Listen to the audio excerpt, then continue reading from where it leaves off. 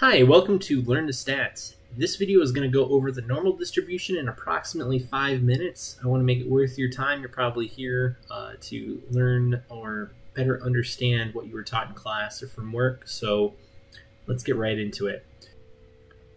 Now, the normal distribution has several different names that it goes by. A bell-shaped curve, the Gaussian distribution, they're all the exact same thing.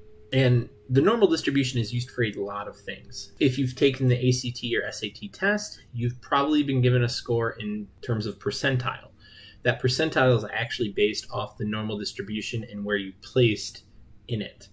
Uh, another example would be height, IQ, birth weight, pretty much anywhere the central limit theorem is applied, that's where you'll find the normal distribution.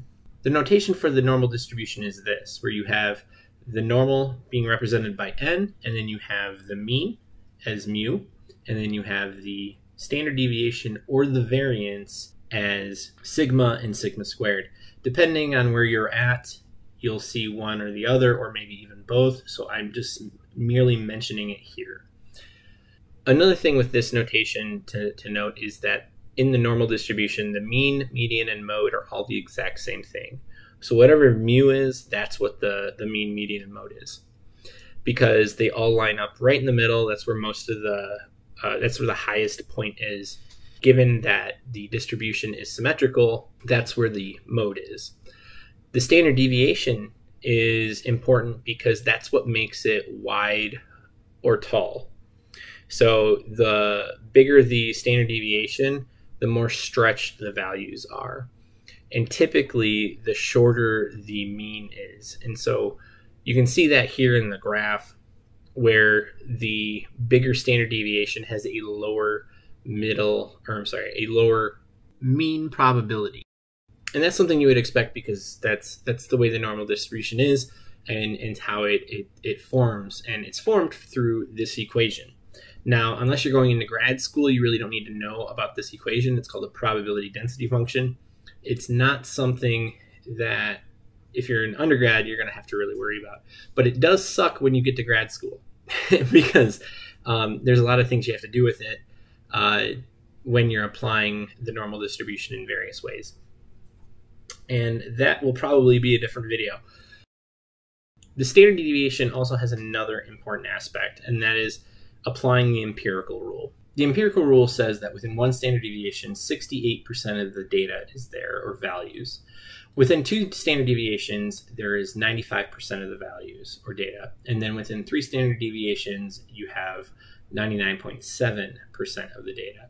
It's also known as the 68, 95, and 99.7 rule. I prefer empirical rule because that's just a mouthful with all the numbers. And just to let you know, I will be doing a video where I just go over problems with the empirical rule that will be coming out soon. Now, the great thing about the normal distribution is that you have something called the standard normal distribution, where it has a mean of zero and a standard deviation and variance of one. And what's great about that is that you're able to take any normal distribution and approximate it to that standard normal distribution.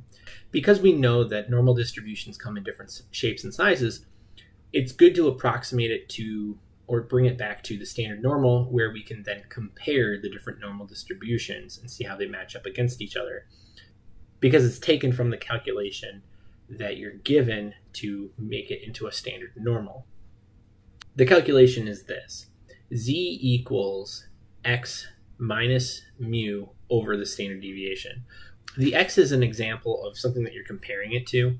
So, say you have an x value of 20 and a mu value of 20 divided by the standard deviation. It doesn't matter what the standard deviation is because you have a z score of zero. And the z score of zero and standard normal is right dab in the middle, which means you have 50%.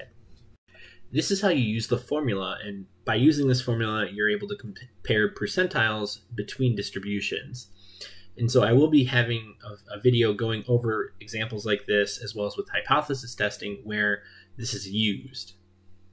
If you have any questions or comments, please leave them down in the comments section. If you thought this was helpful, please like and share it. Subscribing would really help the channel out.